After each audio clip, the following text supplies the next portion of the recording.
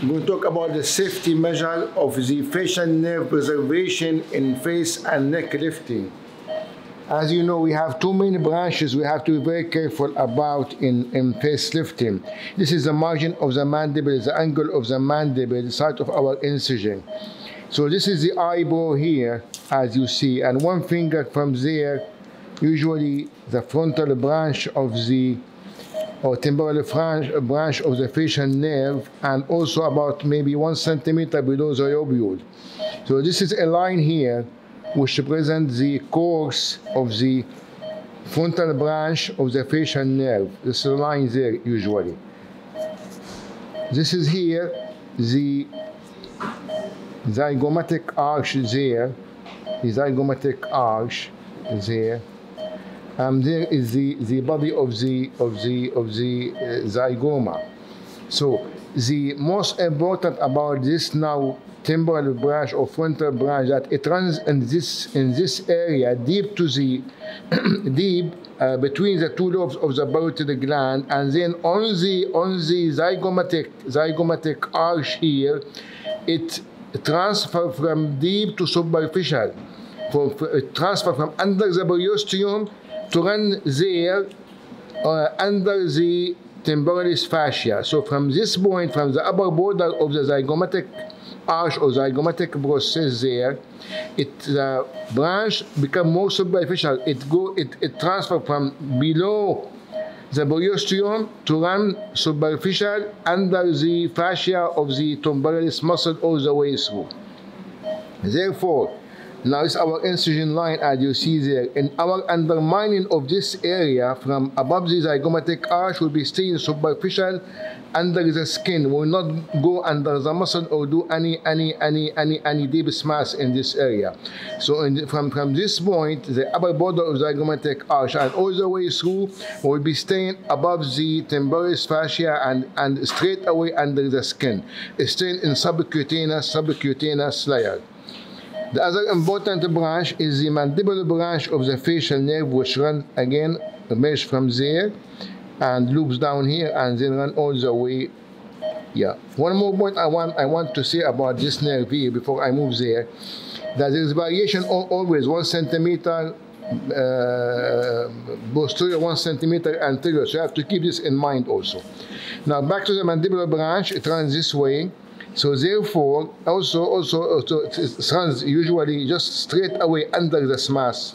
So if you leave the SMAS in this area, there's always danger of of, of, of hitting the nerve or causing injury to the nerve. So therefore, I, I say about two centimeters below the margin of the mandible and about two centimeters above the margin of the mandible there, in this area here, I will not do any SMAS at all no SMAS in this area. So this is a forbidden area again, only subcutaneous. So in this area here, only we staying, we staying subcutaneous, about two, one to two centimeter, one finger below the mandible uh, margin, and one finger above the mandible margin. Again, you stay subcutaneous. So our SMAS is going to be menu how we do two SMAS, the upper SMAS and lower SMAS. The upper SMAS, the cheek, will be starting from a line this is the angle of the mandible. From this area, about one finger above the angle of the mandible, above the angle of the mandible, and aligned to the lateral canthus here. So this is the direction of our start incision for our entering for our deep SMAS, our deep SMAS. And we go to reach the ligament there, the zygomatic ligament, upper ligament, middle ligament, and inferior ligament, and the mandibular ligament there. So be, uh, going with the, we're under this all the way through, all the way through to this area, our SMAS, in order in order to to uh, achieve this is about about this SMAS limit. Sometimes we go slightly further also but this is the main thing that we, we release all these ligaments the, the lower ligament the middle ligament the upper ligament and the zygomatic ligament. And then he subcutaneously will, will release the mandibular ligament there. So as the, here will have the buccal branches. You have to be very careful to be able to see. If you stay on the roof of the SMAS there, staying on the roof of the SMAS, you're able to see the buccal smash uh, nerves and reserve the buccal nerve.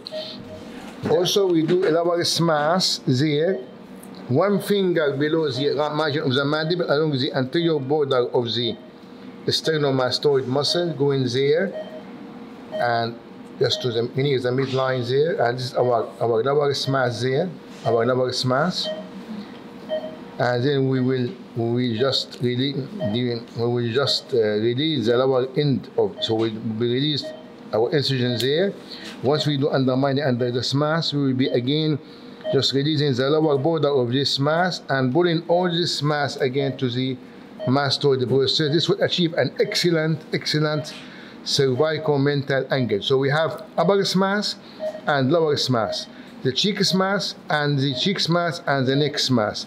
And this area, forbidden area, no SMAS in this area as I have explained. The additional most important feature of the of the uh, safety and, and uh, during the procedure is to use this equipment, the Medtronic facial nerve monitoring, this equipment there, and you see it has connected into a probe. This is the probe, the same principle of ECG. ECG. You have probe here, and uh, sorry, electrodes there, electrodes there, electrodes there, electrodes there. This is will be watching all the branches of the facial. These electrodes are watching all the branches of the of the facial nerve, as you see.